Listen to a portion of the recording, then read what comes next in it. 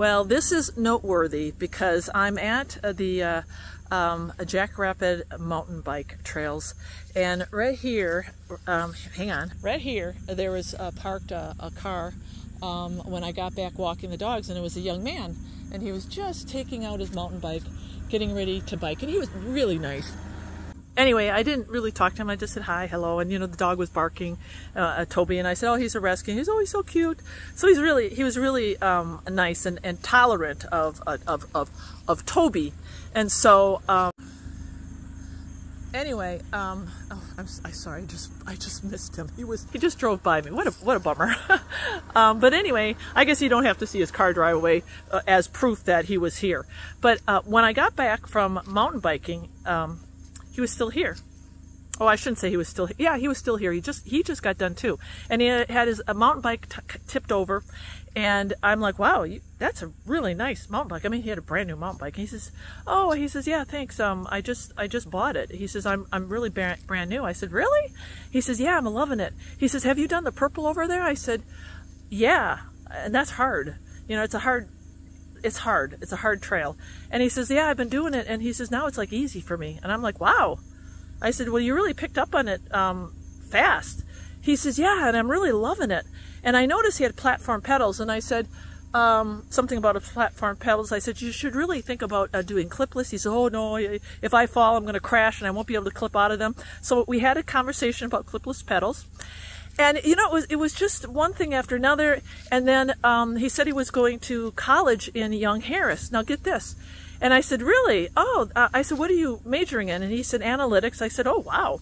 Um, and I, I, asked him where he was originally from. He said, Chicago. I said, Chicago? I said, my dad grew up in Chicago. He's like, no way. I said, yeah. He said, well, my dad um, actually went to the university there. I said, is that UW-Madison? He said, yeah. And I said, okay. I said, I used to do Badger State games in UW-Madison. You know, I was a big paddler and, and he says, oh, that is, that's so weird. And then he was talking about, um, uh, I said, well, then where did, did you live in Chicago? He said, well, we didn't live in Chicago. We lived uh, by, um, uh, Batavia, I think he said, and that's by, um, Naperville. I'm like, okay, my best friend used to live in Naperville. He's like, what? So I already knew that the Lord had set up this divine appointment with this young man. And, you know, I, I, again, I never know what's going to come out of me, but I, um, we were talking about, I don't know how the conversation changed, but, um, I started walking over to my van and I said, you know, I want to give you something.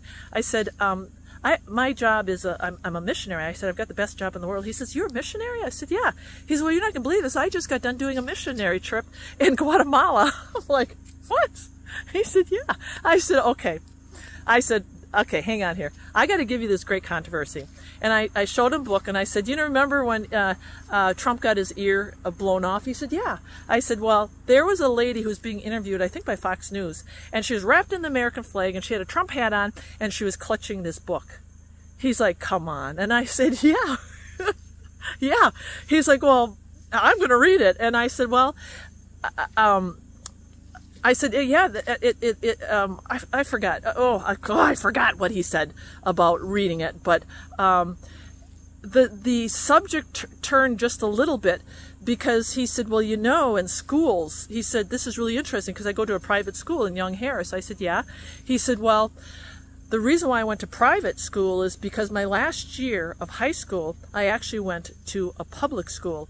And he said I could tell the difference. I said, really? He says, yeah, government. Government was so involved in the public school.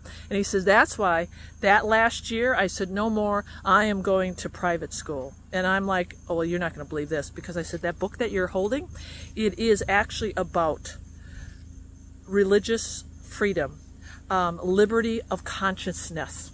And I said, it's not by accident that I'm giving you this book then.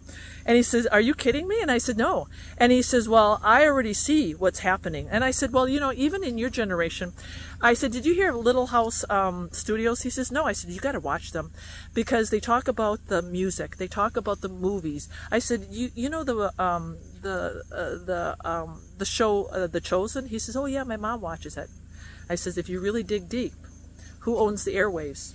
And I, I'm like, Satan. And I said, oh, he says, oh, yeah. He says, and the government's involved. I said, yeah, but it's not just the government, it's Satan. And so, like The Chosen, I said, watch Little Light, Light uh, Productions. They dive into all the, the agendas that's out there. And he says, oh, wow, yeah, you're right. He says, there are agendas. And he was so grateful for the book. I was grateful that the Lord put him there. And I told him, I said, you know, I always pray for encounters. And just, you know, today must be your day. Because obviously this is not by accident. And I tell I told him how I just met the Carolina, and and um and he says, yeah, I I know God does this, and so um he says, and I am going to read that book. So anyway, he shook my hand. His name was Luke. He, I was like, ah, he had such a strong handshake. But um, this just happened at the bike trail. So I'm so so grateful um, when God brings me people, and it's just um, yeah. I mean, I pray and it happens, and I'm glad I can share it with all of you too. So pray for Luke and pray for that book.